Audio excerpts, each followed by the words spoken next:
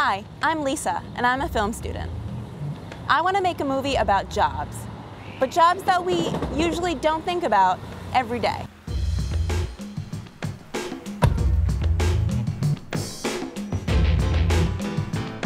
Let's take a look at the jobs that make our world go round.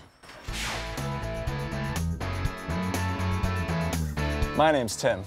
I'm a mover. I help people move their entire lives from their old home to their new home. How do you feel about your job?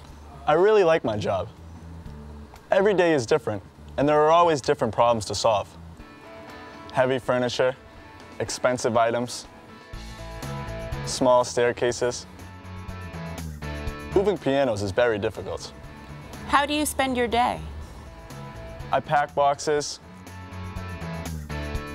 carry items, and organize the truck. Sometimes I drive the truck, but that's the easy part. My job is tough sometimes, but it's a lot of fun. I love to drive this big truck.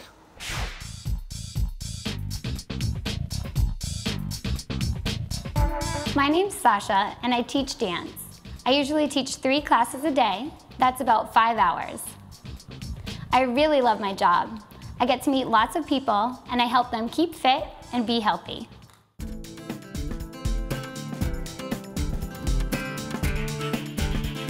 Do you work all day? No, most of my classes are in the evening. I usually get home late. Would you like to learn a move? Sure.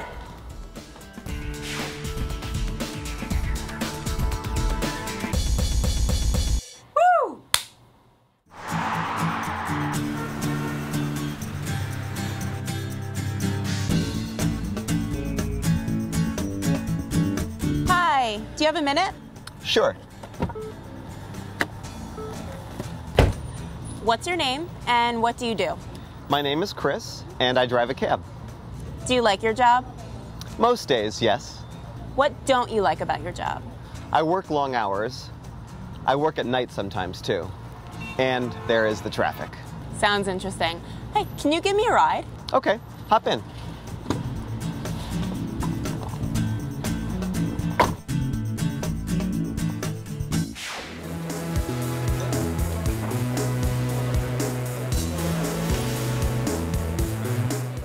Today, I'm with Brian.